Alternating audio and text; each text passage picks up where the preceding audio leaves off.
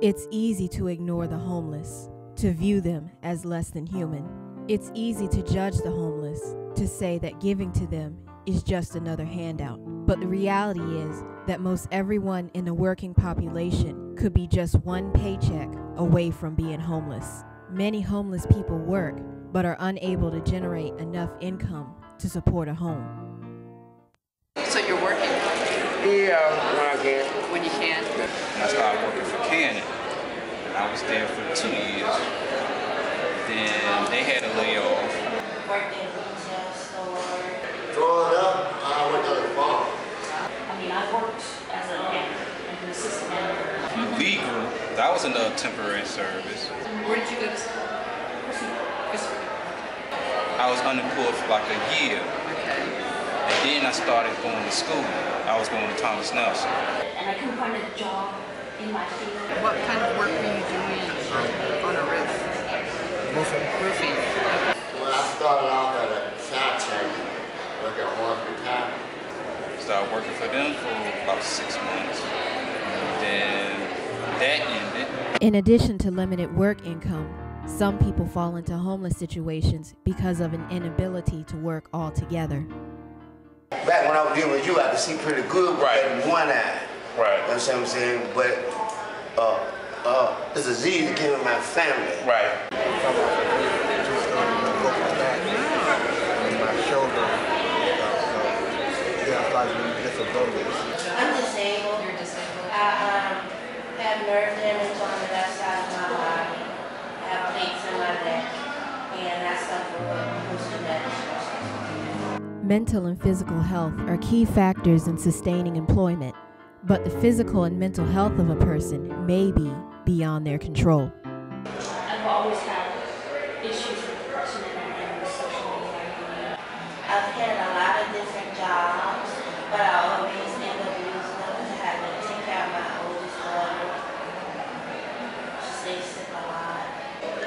I got five, I got five months and I'm done. Five months and you're done. Okay. Five months and I'm done. And uh, I I take psychological therapy classes two times a month. Because after, you know, my mom passed and I went through all that I went through, then this happens. So, and that was a self-attempt. Oh, Yeah, that was a nasty one I did. oh gosh. Yeah. So you're struggling, huh? Yeah. And I was like, when when, when that happened, I'm, I was sitting there, and after everything settled down, I was in the hospital. Oh man, I went through it. I paid for it. I was like, never again. I said, next time if I want to go this route, I'll do pills or something, or something like that. Mental health conditions can be further aggravated by feelings of hopelessness brought on by the circumstances of homelessness. The longer someone has been homeless, the more it becomes increasingly difficult to retain employment or stable housing. It's long, like I said, I've been on the list for eight years. Wow. That's long, yeah. Yeah, it's been kind of rough, huh? Yeah. I mean, it was different. I was so used to having my own house and stuff like that, but I got I couldn't afford it. I'm paying $500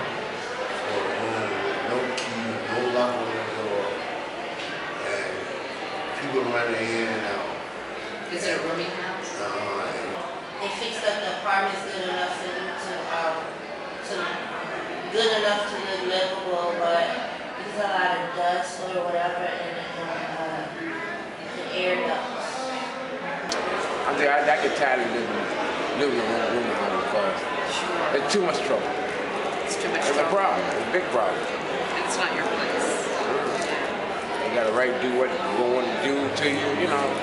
Ain't right. Simple things like keeping up personal hygiene or access to a social network prevent some from getting out of the cycle of homelessness.